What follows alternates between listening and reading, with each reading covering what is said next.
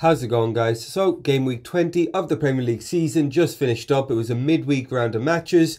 Looked very unpredictable on paper and that's exactly how it proved to be because there was a lot of surprise results in this one. And yeah, let's have a look at who's done well, who's done not so well and everything in between.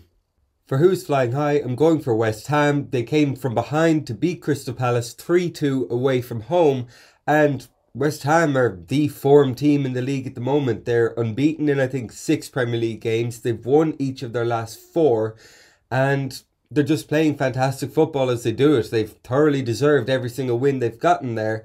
They're up against Liverpool next, and if Liverpool's game against Tottenham had gone differently, West Ham actually would have been going into that game ahead of them in the table. They were temporarily sitting in fourth, back down to fifth now, but the way they've been playing, I wouldn't want to say that Liverpool should just go and beat them in that game. They have every chance. To be honest, for the season in general, the way they've been playing, you know, sky's nearly the limit for them because they've really, really looked the full party piece.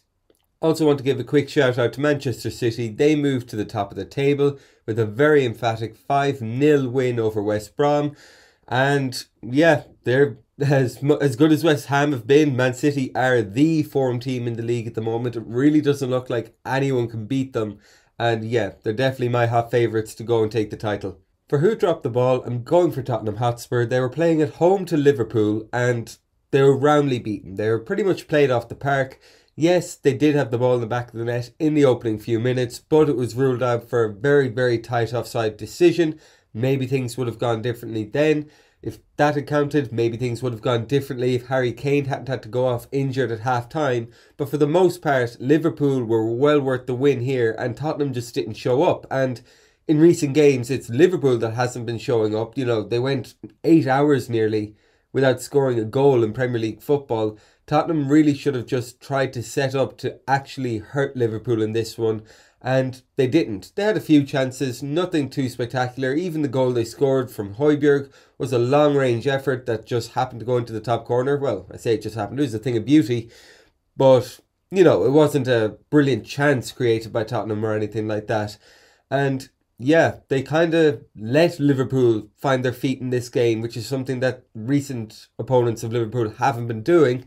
So yeah, Tottenham, you had a chance here to make a statement and you didn't take it.